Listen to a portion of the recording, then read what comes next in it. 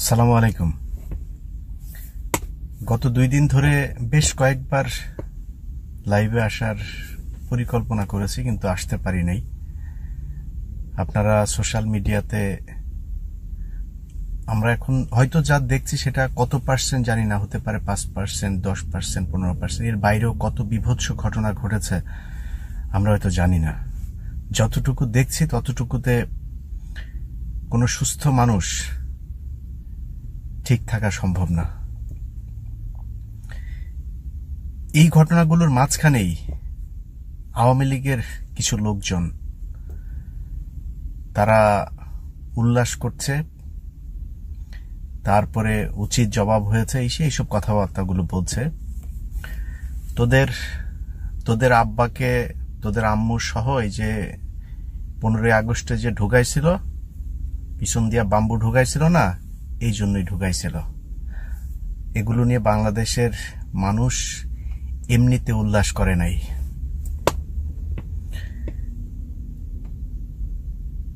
অনেকেই এখন মনে করছেন যে আন্দোলন করা হলো না, আন্দোলন শেষ হলো না।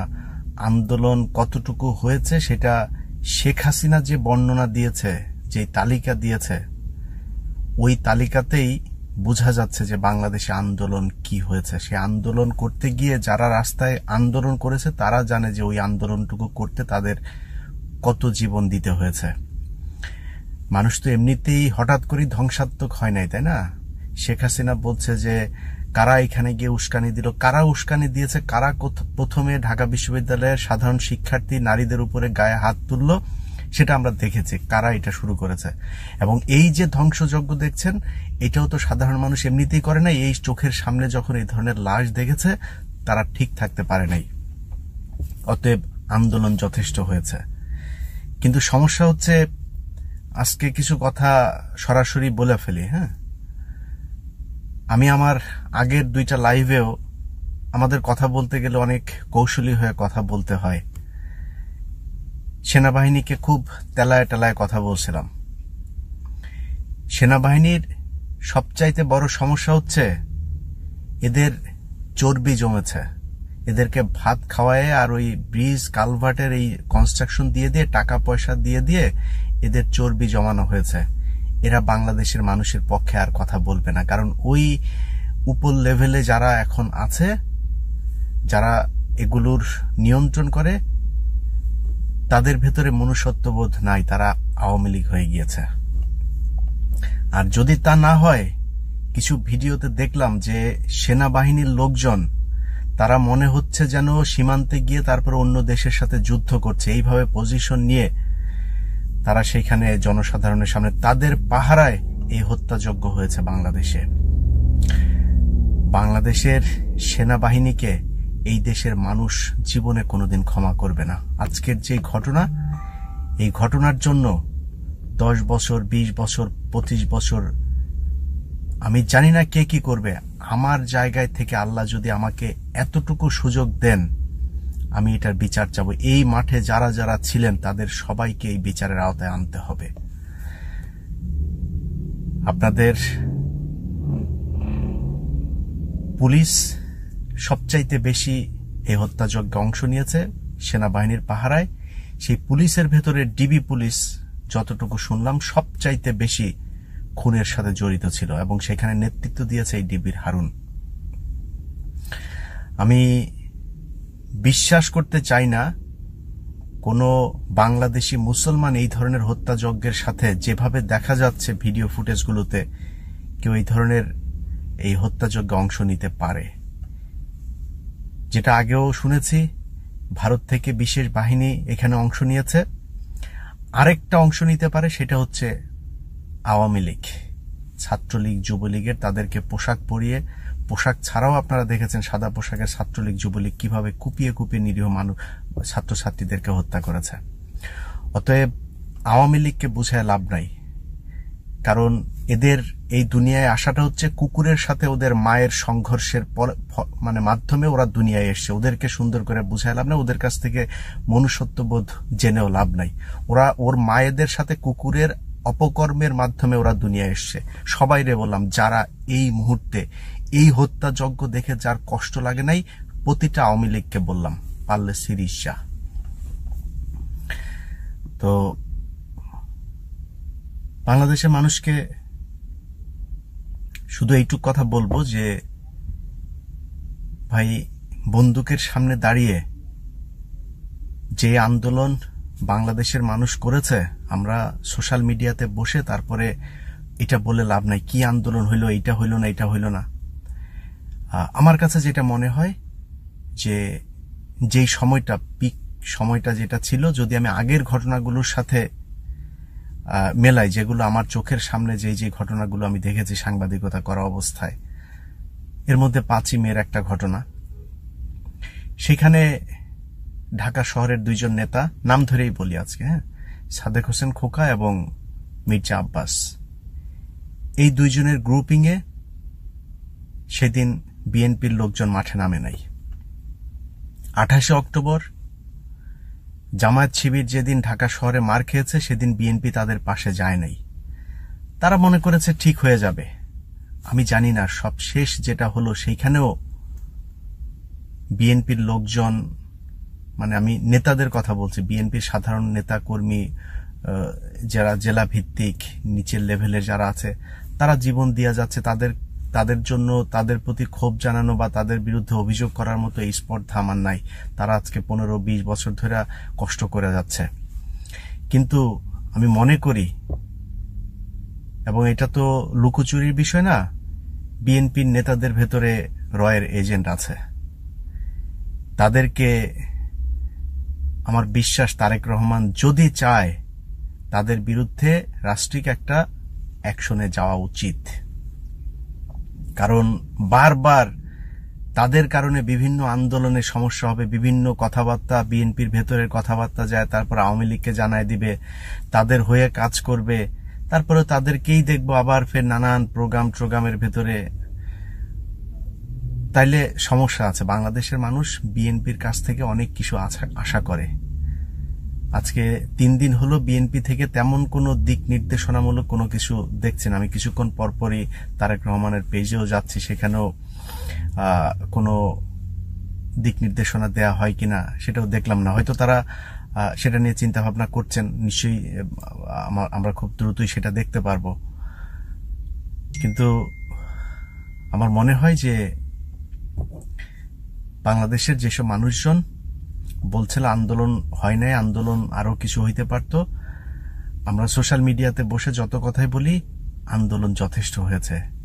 একটা মানে গণতান্ত্রিক না, একটা অসভ্য, নির্মম যেসব আইন কানুন যে দেশগুলোতে চলে, আমরা তো আফ্রিকাকে বলি, তারা এখনও মানে মানুষের ইয়েতে আসে নাই। সে আফ্রিকান সমাজেও এখন পর্যন্ত এইভাবে মানুষকে কুপিয়ে আর গুলি করে হত্যা করা যায় না। কোনো রাজনৈতিক আন্দোলনে এইভাবে মানুষকে হত্যা করা যায়, এটা পৃথিবীর ইতিহাসে কোনো দেশে এই দুই হাজার চব্বিশ সালের পৃথিবীতে সম্ভব না। যখন সামনে থেকে এইভাবে গুলি করা হবে, কতক্ষণ তাদের সামনে পৌঁছানো যায়? পৃথিবীর দক্ষিণ, এই আফ্রিকার মতো দেশগুলোতেও আপনি দেখেন, এই ধরনের ঘটনার ধারে কাছে না যেত সেনাবাহিনী ক্ষমতা টেক ওভার করে। আমাদের সেনাবাহিনী ব্রিজ কালভার্ট আর পিছন থেকে কামান টামান নিয়ে ট্যাঙ্ক ট্যাঙ্ক নিয়ে, তারপরে পুলিশ, ছাত্রলীগ, যুবলীগ তাদেরকে সুযোগ করে দিয়েছে তাদেরকে হত্যা করার জন্য এই সাধারণ মানুষদেরকে।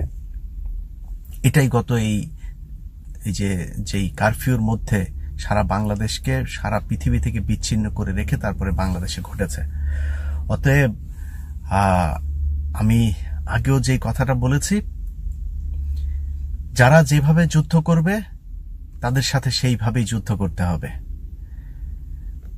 আমি চুয়াডাঙ্গায় আমার জন্ম হয়েছে। চুয়াডাঙ্গায় আমি বেড়ে উঠেছি। আমার ইন্টারমিডিয়েট পর্যন্ত আমি চুয়াডাঙ্গায় থেকেছি। অতএব আমার জীবনের বলতে পারেন যে একটা বিশাল সময় আমার সেখানে কেটেছে। আমি যখন খুব ছোট, প্রাইমারি স্কুলে পড়ি টু থ্রি ফোর এই এই সময়, এরপর থেকে আস্তে আস্তে আপনার ঠিক হতে শুরু হয়েছে। তো সেই সময়ের মানে যে র্যাব, চিতা, কোবরা, নানান দল গঠন মানে সংস্থা গঠিত হয়েছিল, আপনারা জানেন। এগুলোর পরে কিছুটা ঠিক হয়। সেই সময় আমাদের সকালবেলা প্রতিদিন ঘুম ভাঙত। চুয়াডাঙ্গার যারা আছেন, তারা জানেন। অনেক বিভৎস বিভৎস লাশ দেখতাম। আমি আমার নিজের চোখে দেখা লাশগুলোর বর্ণনা দিই আপনাদেরকে। একজনের গলা কেটে রেখেছে আর কোমরের নিচের টুকু কাটা তিন টুকরা করে তিন পাশে ফেলে রেখেছে। আপনার পেট কেটে গুলি করে পেট কেটে তারপর ভুড়ি বের করে পাশে রেখে দিয়েছে, রেখে দিয়ে তারপরে ওইভাবে। আমার আমার যে গ্রাম, আমার গ্রামের পাশে একটা গ্রাম আছে সুজায়তপুর। সেই গ্রামের একজনকে মেরেছিল আমার মনে আছে।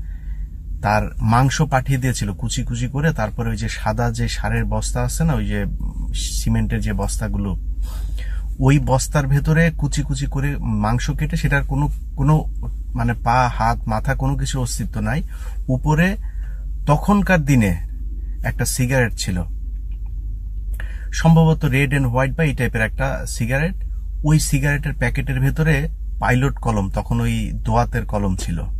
এই পাইলট কলম দিয়ে ওইটা বস্তার মধ্যে গেড়ে দিয়েছে। ওখানে লেখা ছিল, মনির লাশ। মনি নামে একজনকে আপনার মারা হয়েছিল। তো এই ঘটনাগুলো আমাদের চোখে দেখা। তখন অত কিছু বুঝতাম না, কিন্তু পরে এই যে রাজনৈতিক বিভিন্ন বিশ্লেষণ করে তারপরে দেখলাম এগুলো শুরু হয়েছিল কোথা থেকে? এগুলো শুরু হয়েছিল এই শেখ মুজিবের বাহাত্তর থেকে পঁচাত্তরের সে যেইভাবে তার দল, তার এই লাল বাহিনী, নীল বাহিনী, রক্ষী বাহিনী যেভাবে মানুষদেরকে হত্যা করেছে, বাধ্য হয়ে জাসদ এই ধরনের একটা সশস্ত্র সংগঠন তৈরি করতে বাধ্য হয়েছিল। তখন কি কি হতো? পূর্ব বাংলা কমিউনিস্ট, সর্বহারা, গণবাহিনী, এই ধরনের হক পার্টি, এই ধরনের কয়েকটা পার্টির ভেতরে মারামারি হতো। এই মারামারিগুলো কি হতো? এরা সাধারণ মানুষকে কখনো মারত না। আমাদের বাসাতেও এসছে। এসে ওরা বলতো যে, স্যার খেতে দেন। আমার বাবা ছিলেন শিক্ষক, অনেকেই চিনত হ্যাঁ? তো ওদের ভেতরে ওই স্টুডেন্টদের মধ্যেও অনেকেই ছিল। স্যার, খাব খাবার দেন। তো আমাদের বাড়িতে আবার মানে তখন ওই পোলট্রি ফার্ম ছিল। তো মুরগি টুরগি বিভিন্ন ধরনের, আমার মা শখ করে ই করতো। বিভিন্ন ধরনের মুরগি ছিল, তো তাদেরকে খাওয়াইতে হতো। তারা কখনো আমাদের কোনো ক্ষতি করতো না। মসজিদে এসে মাইকে ঘোষণা দিত যে, চাঁদা দিয়ে যান, যার যা যে পরিমাণে চাঁদা দিয়ে আসতে হতো। তখন ব্যাটারি লাইট ছিল তিন ব্যাটারি লাইট কাউকে ইউজ করতে দেওয়া হতো। তো মানে ওইটা আলোচনা না, আলোচনাটা কেন করছি যে এই পরিস্থিতিটা তারা তাদের ভেতরে শুধু রাজনৈতিক যে দ্বন্দ্ব সেটাই তারা শুধুমাত্র ওই তাদের প্রতিপক্ষকেই তারা খুন করতে এবং এক প্রতিপক্ষের হাতে আরেক দলের লোক কখনো ধরা পড়েছে এবং তাকে হত্যা করা হয়নি সবচাইতে বেশি মানুষকে মারা হয়েছিল হচ্ছে ইট ভাটার ভেতরে ঢুকিয়ে। ইট ভাটা ইট ভাটার ভেতরে নিয়ে ফেলে দিত। এইভাবে সবচাইতে বেশি মানুষ মারা হতো। বিভিন্ন বিভৎস লাশ, আপনার একটা গ্রাম আছে, আমি তখন দশ মাইল নামে একটা জায়গা আছে, ওইখানে থাকি। হাসনহাটি খাসপাড়া নামে একটা গ্রাম ছিল। ওই হাসনহাটি খাসপাড়া ওইখানের থেকে একটা লোককে ধরেছিল, তার নাম হচ্ছে মোয়াজ্জিম। মোয়াজ্জিমকে ধরে নিয়ে যায়, আমাদের সামনে দিয়ে ধরে নিয়ে যায়। নিয়ে যেয়ে তারপর দশ মাইল মাদ্রাসার পেছনে একটা মাঠ ছিল। সেখানে আপনার তার যে গোপন অঙ্গ, সেটা কেটে তার গায়ে ওই যে ফতোয়া টাইপের ছিল, ফতোয়ার পকেটের ভেতরে গোপন অঙ্গটা রেখে তারপরে তাকে গুলি করে থুয়ে চলি মানে মানে একজনের প্রতি আরেকজনের ক্ষোভটা কি পরিমাণে ছিল, এটা তখন বুঝতাম না যে একজন মানুষকে গুলি করলেই তো হয়, জবাই করলেই তো মারা যেত। এরকম করতো কেন? মানে ওদের ক্ষোভ, এই যে এক পক্ষ আরেক পক্ষের মানুষজনকে এইভাবে যে মারত ওরা ওইটার প্রতিশোধ নিত। সেটা শুরু হয়েছিল থেকে শুরু হয়েছিল এই রক্ষী বাহিনী। তাদের নির্যাতনের থেকে এই পরবর্তীতে গণবাহিনী, সর্বহারা টারা, কমিউনিস্ট পূর্ব বাংলা যা যা আছে, এগুলো তৈরি হয়েছিল। এমনিতে তারা এত বিভৎস, এত হিংস্র হয় নাই। অতএব শেখ মুজিবের বিরুদ্ধে তখন যারাই কথা বলতো, তাজউদ্দিনকে ছড়িয়ে দিয়েছে মুক্তিযুদ্ধের সর্বাধিনায়ক জেনারেল ওসমানী তাকে শেখ মুজিব রাখে নাই, বের করে দিয়েছে। যে কথা বলতো, সত্য কথা বলতে গেলেই তাকে বের করে দিত। আতার রহমান খান, মনসুর আহমেদ তাদের বই পড়েন, তাহলে বুঝতে পারবেন যে শেখ মুজিব কত বড় বদমাইশ আর হিংস্র। আজকে যা ভিডিওতে দেখছেন, ওগুলো খালি ভিডিওতে নাই, বইতে লেখা আছে। এখন আপনারা হয়তো সেগুলো বিশ্বাস করেন না, মনে করেন যে মনে, কোনো একটা কিছু, আর বই তো পড়েনও না। আমরা, আমি নিজেও বই পড়ার অত অভ্যাস করতে পারি না। একটু পড়লে পড়তে চাই না আর। তো এগুলো কিন্তু সত্য, বাস্তব ঘটনা। এখন আপনি যখন কিনা এরকম একটা দুর্ধর্ষ, হিংস্র একটা বাহিনীর সাথে একটা রাজনৈতিক দলের সাথে আপনি যখন লড়াই করবেন, আপনাকে ওই লড়াইয়ে তারা যেমন যে অস্ত্র ব্যবহার করবে, আপনাদেরকে সেই অস্ত্রের সামনে দাঁড়াতে গেলে আপনার ব্যক্তিগত নিরাপত্তার জন্য যা করা প্রয়োজন আপনাকে সেইটাই করতে হবে। কারণ এই দেশে এখন আইন নাই, বিচার নাই। যে দেশে সেনাবাহিনী নাই, আপনি সেই দেশে কার কাছে কি চাবেন? এই ঘটনার পরে তো আর সেনাবাহিনীর প্রতি আর কোনো ই নাই। সেনাবাহিনীর এখন বহু অফিসার আছে এখানে আছে, লন্ডনে আছে, বিভিন্ন জায়গায় সেনাবাহিনীর অফিসার আছে, ভদ্র হয়ে গিয়েছে তারা। তারা এখন বিশাল ভদ্র, অথচ এই সেনাবাহিনীর অফিসাররা খালেদা জিয়ার বাড়ি থেকে খালেদা জিয়া, জিয়াকে বের করে তার ফ্রিজের ভেতরে মদ ঢুকানোর সাথে জড়িত। এখনও এখানেও বড় বড় কথাবার্তা বলে তারা এখন ভালো মানুষ হয়ে গিয়েছে। আরে ভাই, যখন চাকরিতে ছিলেন, তখন আপনি কোথায় ছিলেন? আমি ইলিয়াস হুসাইন। আমি দুই হাজার চোদ্দ সালের পাঁচই জানুয়ারি নির্বাচনের কারণে আজকে নির্বাসিত আমি। আমি আমার সামনে দুই হাজার চোদ্দ সালের পাঁচ জানুয়ারি নির্বাচনে যা দেখেছি সেটাই দেখিয়েছি। ডিজিএফআই ধরে নিয়ে গিয়েছে, সমস্যা নাই। তারপরে বের হয়ে এসে যা করার সেইটাই করেছে। কোনোদিন উল্টাপাল্টা কোনো মানে নিজের চরিত্রকে কোনোদিন পরিবর্তন করি নাই। আপনি চাকরিতে থাকা অবস্থায় আপনি সুখে শান্তিতে টাকা পয়সা কামায় নিয়ে এসে এখন আমেরিকাতে ব্যবসা বাণিজ্য করছেন, লন্ডনে যায় ব্যবসা বাণিজ্য করছেন। ওই তারেক সিদ্দিকের সাথে আপনাদের এক সময়ের ব্যবসা ছিল, এখন আপনারা ভদ্র হয়ে গিয়েছেন। এখন ভদ্র হয়ে তো লাভ নাই। যারা এখন চাকরিতে আছেন, চাকরি থেকে বের হয়ে আসে তারপরে বলবেন, ইলিয়াস ভাই, আমরা তো কিছু করার ছিল না, আসলে চাকরিটা ছেড়ে দেন। আপনি তো পুলিশের কনস্টেবল না, তাই না? আনসারে চাকরি করেন না তো। আপনি যে চাকরি করেছেন, এতদিনে আপনার মোটামুটি একটা ব্যাংক ব্যালেন্স হয়ে গিয়েছে। চলে আসেন, দেশ থেকে বের হয়ে যান, যায় তারপরে বলেন মানুষকে যে সেনাবাহিনীর অবস্থাটা কি। সেনাবাহিনী কাদের কথায় পরিচালিত হচ্ছে? কাদেরকে পোশাক পরিয়ে সেই রাতের অভিযানে পাঠানো হয়েছিল? আপনারা আপনাদের মুখ থেকে বলান। বলেন সেটা, তাহলে মানুষ বুঝবে যে দেশের অবস্থাটা আসলে কি। আরামে থাকবেন, সুযোগ মতো এসে তারপরে আবার বিএনপিতে যোগ দিবেন, তারেক রহমানের সাথে যায় দেখা করতে চাবেন। এটা হইতে পারে না। আমার বিশ্বাস করেন, লাইভে আসলে কি বলব, না বলব এই যে ভিডিওটা দিচ্ছি, এটাও কি আপলোড দিব কিনা আমি জানি না, এরপরে আরও করতে হবে কিনা জানি না। খুব খারাপ ভাষায় কথাবার্তা বলেছি মানে খুব খুব মানে নিজেরা কন্ট্রোল করতে পারিনি। কয়েকটা ভিডিও কেটে দিয়েছি, আবার এখন বসেছি আরেকটা ভিডিও করার জন্য। এরপরেও করব কিনা জানি না, কোনটা আপলোড দিব জানি না। মানে কতটুকু নিজেকে নিয়ন্ত্রণ করা যায়, এর চাইতে বেশি আর সম্ভব না আমার পক্ষে। নিজের ক্ষমতা নাই, আপনাদের জন্য কিছুই করতে পারছি না, কষ্ট লাগছে, খুব খারাপ লাগছে ভাই। বিশ্বাস করেন, যে ভিডিওগুলো মানে দেখা যাচ্ছে সোশ্যাল মিডিয়াতে এটা এটা আসলে সম্ভব না। কোনো বাংলাদেশের যারা জীবিত আছেন এই মুহূর্তে, আপনাদের কাছে বলে রাখলাম আজকের আমার এই ভিডিওর তারিখ। এই ছাত্র আন্দোলন, এই হত্যাকাণ্ড, এই কারফিউ, এই রাতের অভিযান, এগুলো মনে রাখেন। ভুলে যায়েন না। আমরা অনেক বীরদেরকে ভুলে গিয়েছি, অনেক ঘটনা আমরা ভুলে গেছি যেই কারণে আজকে আমাদেরকে পে করতে হচ্ছে। আমরা আমাদের এই সোশ্যাল মিডিয়াতে অনেককে দেখলাম যে পাকিস্তানিদের মতো বর্বরতা। পাকিস্তানিরা তোমাদের আম্মুকে ড্যাশ করেছে হ্যাঁ? পাকিস্তানিরা কি করছে তোমাদেরকে? কোন গ্রামে যায় হত্যাযজ্ঞ চালিয়েছে? কোথায়? পাকিস্তানিরা ওই যে বলে না যে লুঙ্গি চেক করে তারপরে ই করছে? যদি ওইটা করে থাকে, ওইটাই ঠিক করছে। ওইটার কারণে এখনও বাংলাদেশের ভেতরে এখনও মানে এই আজকে দুই হাজার চব্বিশ সাল পর্যন্ত আসতে পেরেছে। যদি ওই সময়েরগুলো যদি ওই রয়ের এজেন্টগুলো যদি ওই সময় জীবিত থাকতো না, তাহলে বাংলাদেশ আরও বহু আগে শেখ মুজিবের আর দুই তিন বছর থাকলেই এই আজকের হাসিনার এই পরিস্থিতিতে চলে আসতো শেখ মুজিব। অতএব মানে পাকিস্তান পাকিস্তান বেশি মারায়ান না হ্যাঁ? পাকিস্তানিরা বাংলাদেশিদের উপরে কিছুই করে নাই। পাকিস্তানিরা আপনাদের বাঁচানোর জন্য জীবন দিয়ে গেছে উনিশশো একাত্তর সালে। বিহারিরা জীবন দিয়েছে এই দেশে। তাদের কাছে মাপ চাইতে হবে। মেজর ডালিমদেরকে আপনারা বাংলাদেশে থাকতে দেন নাই। এখানে একজন আছে, তার কাছে বহু দূর ড্রাইভ করে যায়, তারপরে মাপ চাই আসছি।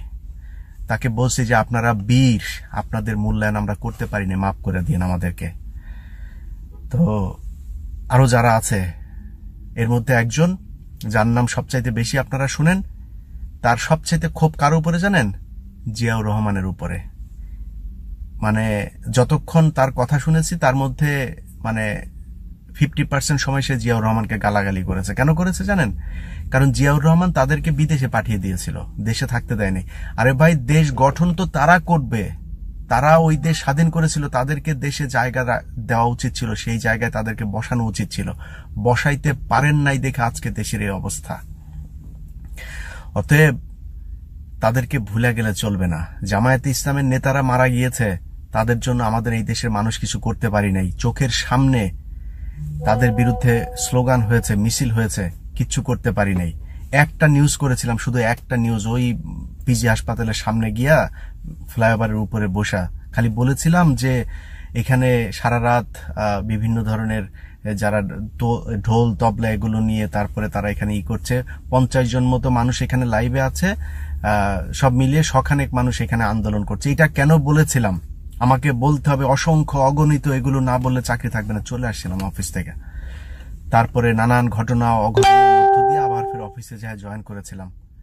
এগুলো আমাদের দেশের মানুষ। এরপরে এই মিডিয়া তৈরি করল, হাজার হাজার লক্ষ লক্ষ কোটি কোটি মানুষ আসছে, সবাই চলে আসেন, সবাই লুঙ্গি উদাম করে চলে গেলেন শাহবাগে গণজাগরণের চত্বরের মধ্যে যায় আন্দোলন করার জন্য। এগুলোর খেসারত আজকে দিচ্ছেন। অতএব খুব হিসাব করে কথা বলতে হবে। কিছু হইলেই পাকিস্তানি গণহত্যা, পাকিস্তানিরা গণহত্যা কোথায় করেছে, কারে করেছে, আপনার গ্রামে করেছে, আপনার জেলায় করেছে, তাহলে কই করেছে, জানেন? এগুলো আপনাদেরকে এই স্বাধীনতার পরপর ভারতের টাকায় কিছু পরিচালক তারা সিনেমা বানায়, তারপরে আপনাদের ভেতরে উত্তেজনা তৈরি করেছে। পাকিস্তানিরা বাংলাদেশের কোনো পূর্ব পাকিস্তানিকে বাংলা, এই পাকিস্তানিরা মারে নাই। চোদ্দই ডিসেম্বর যেটা, যেই হত্যাকাণ্ড সেটাও রয়ের ঘটনা, পঁচিশে মার্চের ঘটনাও রয়ের ঘটনা। এই দ্বন্দ্ব বাধায় দিয়ে তারপরে তারা সুবিধা নিয়েছে। অতএব কথাবার্তা বলতে গেলে খুব হিসাব করে বলতে হবে হ্যাঁ? এখন পঞ্চাশ বছর পার হয়ে গিয়েছে তো, এখনও হুশ জ্ঞান হইতে হবে। কারা এই দেশটাকে অস্থির করছে? কারা আপনার বন্ধু? কারা আপনার শত্রু? এটা বোঝা খুব জরুরি। আমার বিশ্বাস, বাংলাদেশে শেখ হাসিনা যে হত্যাকাণ্ড ঘটিয়েছে এরপরে স্বাভাবিক পরিস্থিতি ফিরিয়ে আনার কোনো সুযোগ নাই। যে যার জায়গা থেকে যেভাবে পারেন, আপনার মনে করার কোনো কারণ নাই, বিএনপির নেতা, জামায়াতের নেতা, কোন দলের নেতা আপনাকে যা হুকুম দিবে, ওই হুকুম আপনার জানার দরকার নেই। আপনার গ্রামে পাঁচজন আছেন, ওই পাঁচজন নিয়ে আপনি আপনার মতো করে দাঁড়াইতে হবে। পুলিশের বিশাল বাহিনীর সাথে যুদ্ধ করার দরকার নেই। পুলিশের একটা গাড়ির সাথে যুদ্ধ করতে হবে। ছাত্রলীগের বিশাল বাহিনীর সাথে যুদ্ধ করার দরকার নাই। ছাত্রলীগের যখন তারা আলাদা আলাদা থাকবে, তাদের সাথে গিয়ে যুদ্ধ করতে হবে। অতএব সেই পরিকল্পনা আপনাদেরকে করতে হবে। আপনাদেরকে মানে আপনাকে, আপনি যিনি শুনছেন, আপনাকে করতে হবে। আপনার এলাকায় চারজন, পাঁচজন, দশজন নিয়ে আপনাকে করতে হবে। যুদ্ধ ঘোষণা দিয়ে হওয়ার দরকার নাই, এই যুদ্ধ চলবে। যতদিন পর্যন্ত এই দেশ ভারত মুক্ত না হবে, হাসিনা মুক্ত না হবে এবং আওয়ামী লীগের যাদের মায়েদের সাথে কুকুরের সংঘর্ষের মাধ্যমে পয়দা হয়েছে, তাদের যতদিন পর্যন্ত উৎখাত করা না যাবে, ততদিন পর্যন্ত চলবে বলে আমি মনে করি। আল্লাহ হাফেজ।